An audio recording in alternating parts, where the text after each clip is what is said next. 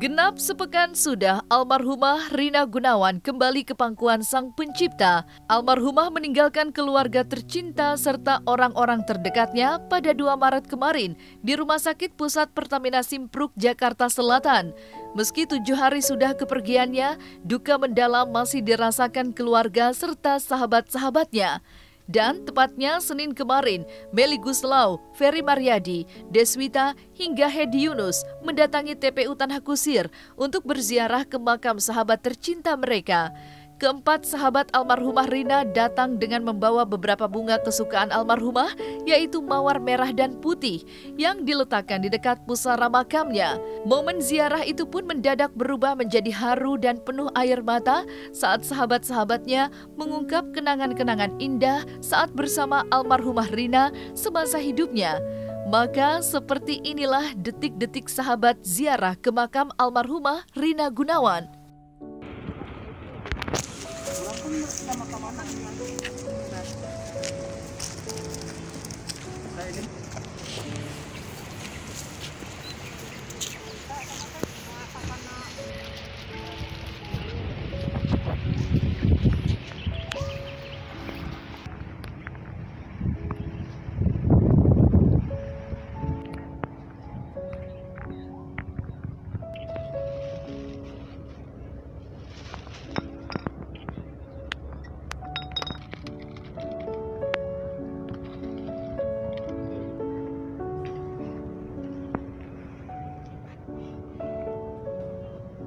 Untuk uh, Iya janjian hari ini. Eh, kebetulan yang bisa empat orang. Dia hari ini ke sini. Tadi ke rumahnya dulu ke rumah mamanya. Ah, semuanya ikhlas dan bahagia juga karena kan insya Allah sahid ya seluruh dia orang baik yang mendoakannya sangat banyak. Yang sama yang sayang sama dia banyak banget. Jadi ya sedih pasti sedih lah. Masa nggak sedih? Tapi bahagia juga karena tahu insya Allah gitu dia ada di situ. Karena dia pokoknya penyayang sama teman-temannya. Saya kalau lebaran dari mulai infal sampai opor sampai ketupat itu dia yang urus. Dan bukan cuma saya teman-temannya semua kalau lebaran tuh. Ada ada makanan enggak ada dia dikirim-kirim sama dia gitu. Kita pun masih sampai hari ini kalau ketemu kayak gini terus ngobrol gitu masih hmm, dukanya masih kerasa banget Jadi Rina itu bisa dibilang pembawa keceriaan ketika kita lagi kecapean, ketika kita lagi ada eh, ya perundungan apa gitu. Jadi kan kita kan alhamdulillah sering mengadakan acara entah penggalangan dana, entah acara apa untuk gas, gabungan artis seniman Sunda. Ketika kita lagi pusing mikirin sesuatu, Rina datang itu bisa mencairkan suasana. Ketika kita lagi ada mentok ide, ada Rina bisa keluar solusinya. Alhamdulillah Rina selalu membawa positif buat kita semuanya. saya tuh ini udah mau di bulan Ramadan tahun sama Ferry setiap tahun tuh sering ngerepotin dia gitu.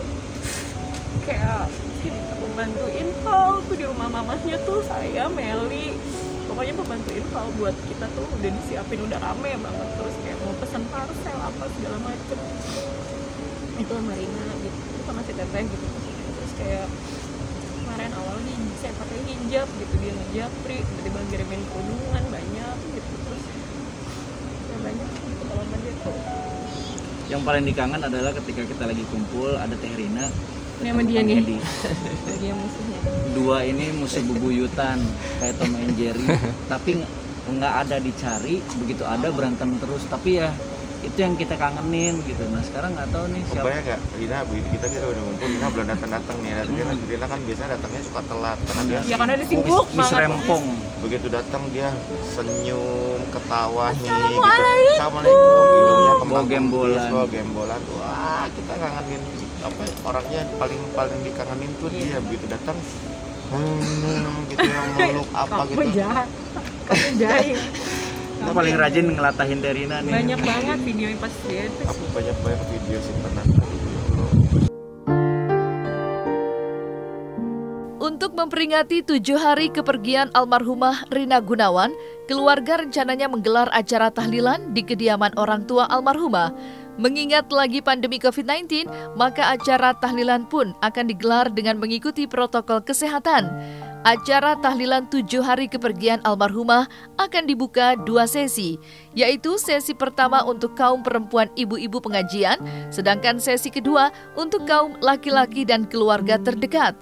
Meskipun digelar dua sesi, pihak keluarga memastikan bahwa acara tahlilan tersebut digelar dengan sangat terbatas dan tidak mengundang banyak orang. Untuk acara yasinan dan tahlil tujuh harian uh, mendiang almarhumah. Sebenarnya nggak ada persiapan khusus. Tapi ya kita di rumah sebenarnya mempersiapkan saja untuk mungkin ada uh, keluarga atau saudara atau kerabat terdekat dari mendiang yang hadir. Karena uh, secara khusus kami kami uh, tidak mengundang. Tapi kalau memang mereka meminta untuk datang ya dipersilakan gitu loh. Tidak tidak dihentikan niat baik. Uh, memang uh, uh, besok itu tujuh harian kan ada dibagi jadi dua sesi. Mungkin nanti ada sore setelah pada pada asar. Itu khusus untuk ibu ibu-ibu dan perempuan gitu. Nanti setelah pada isya laki-laki dan keluarga kerabat yang terdekat gitu. Jadi kalau sore uh, sampai kabar hari ini barusan juga terima kabar bahwa mungkin yang hadir nggak nggak banyak ya. Sekitar uh, eh, 15 sampai 20 orang. Tapi itu link zoom dibuka sampai ada sekitar 3000 orang uh, kita uh, mungkin nanti hari ke-8 hari ke-8 kita akan ke makam jadi habis yasinan Malamnya? malam paginya mungkin insya Allah kita semua rame-rame jadi makam gitu hmm. oh. jadi memang uh, bukan karena apa juga uh, kita lebih untuk di rumah dulu gitu untuk kirim doa untuk biar ya semua saling menjaga ya kita saling menjaga kalau teman-teman sih yang saudara yang nginep di sini sudah ke, ke mimpian gitu ya tapi ya. Hmm. buat saya ya itu uh, gambaran mereka gitu mimpi mereka. Tapi kalau uh, saya pribadi sih sampai detik ini nggak saya nggak diberikan mimpi apa-apa gitu. Cuman karena amanah dari mendiang sudah ya cukup banyak yang saya terima dan insya Allah saya bisa jalanin. Hmm. uh, ya artinya saya sih secara pribadi sudah sudah mengikhlaskan gitu. Jadi sudah biar lebih ringan lah untuk saya maupun anak-anak gitu. Uh, uh, saya sih uh, mereka belum cerita atau hmm. ya mereka nggak nggak mungkin belum ya sampai saat ini jadi nggak ada cerita apa-apa. Ya karena anak-anak terus berangsur berangsur hari demi hari untuk terus uh, belajar mengikhlaskan ya. Karena uh, dengan secepatnya kita mengikhlaskan kan supaya mendiang juga nggak digandolin gitu loh hmm. jadi nggak berat gitu loh untuk kembalinya jadi uh, biar semuanya udah ikhlasin lain Sementara itu, kehilangan yang teramat mendalam masih dirasakan keluarga tercinta atas kepergian almarhumah Rina Gunawan. Terkhusus kedua buah hatinya Aksal Ilham dan Karnisha yang masih cukup terguncang atas kepergian ibunda tercinta mereka. Pasalnya, semasa hidup, sosok almarhumah Rina begitu dekat dengan kedua buah hatinya. Saking dekatnya, tak jarang almarhumah pun kerap menghabiskan waktu bersama buah hatinya hingga kerap tidur bersama putri bungsunya yang bernama Karnisha. Hal itulah yang membuat kedua buah hatinya begitu terpukul dan berat melepaskan kepergian almarhumah ibunda tercinta mereka. Lantas, pasca kepergian almarhumah Rina Gunawan, seperti inilah usaha Tedisha menenangkan dan menghibur kedua buah hatinya. Oh ini sebenarnya pertanyaan menarik yang sebenarnya untuk pribadi saya sendiri gitu ya artinya gini semenjak mereka lahir anak-anak saya lahir gitu saya selalu mendekatkan mereka kepada bundanya jadi saya ingin anak-anak saya tuh sama bundanya sangat menghormati sangat mencintai sangat menghargai. Dan saya sebagai ayah mereka saya mengontrol sebenarnya cukup mendengar dari bundanya. Jadi saya komunikasi itu dari mendiang. Jadi bagaimana kegiatan anak apa yang sedang mereka lakukan apa rasa mereka apakah mereka sedang jatuh cinta atau ada masalah dengan apa. Jadi semua yang mengerti posisi itu 99% adalah bundanya saya mengontrol dari dari dari belakang istilahnya. Saya mengawal dari belakang. Nah ketika uh, bundanya pulang itu yang berat buat mereka. Dan berat buat saya sebenarnya. Artinya uh, seperti apa siapa yang harus saya lakukan untuk anak-anak?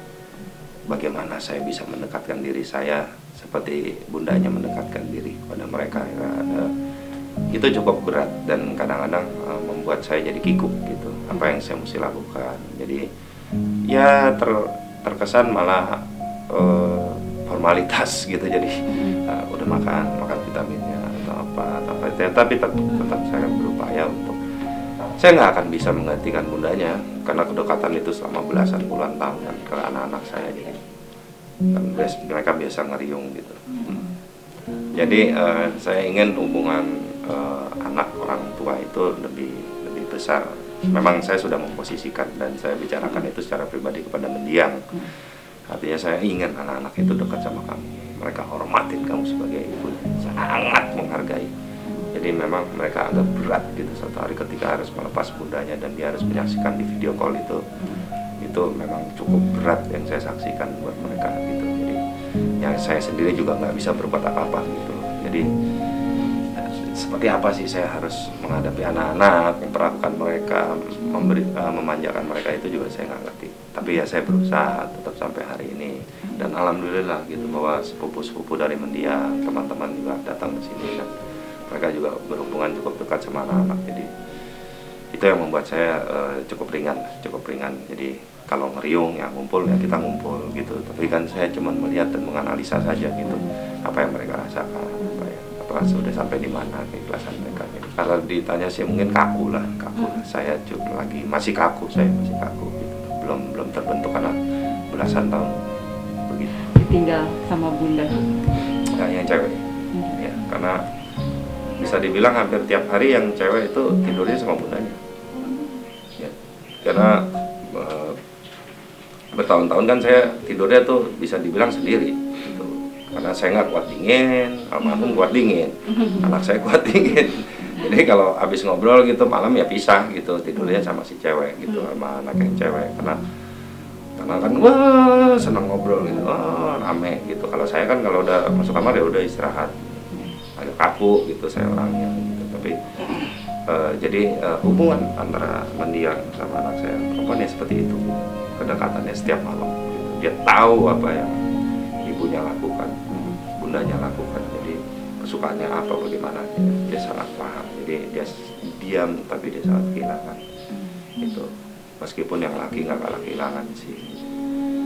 Sampai saya kaget cukup cek sampai kejang gitu sampai kejang gitu. Ketika dia harus melepas bundanya yang cowok gitu saya juga wah kaget gitu. Karena dia lebih introvert lebih diam apa jadi ketika dia ya hampir nggak bisa menerima.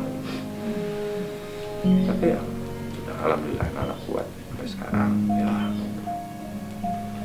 Artinya kan nggak ada lah ya manusia di dunia ini yang berpikiran ingin jadi single parents gitu. Tapi bahwa bahwa itu akan terjadi dan ya, lambat laun kita harus uh, menjalankan hal-hal seperti itu. Nggak mudah lah bagi laki-laki di luar sana. Sebagian besar mungkin 95-99% akan berat laki-laki menjadi seorang single parent. Karena pasti uh, kita nih laki-laki kan sulit memahami bagaimana kondisi anak. Sebagian besar ya saya nggak bilang seluruhnya. Tapi mungkin untuk seorang ibu, seorang perempuan yang lebih saklek bisa lebih tegas kepada anak itu akan lebih mudah, maaf lebih mudah. Ya saya belajar, artinya belajar seperti biasa gitu. Saya cuma gini loh, saya bersyukur bahwa nggak di dalam usia yang sangat muda mereka itu ditinggal, tapi sudah cukup dewasa dan cukup bisa mengerti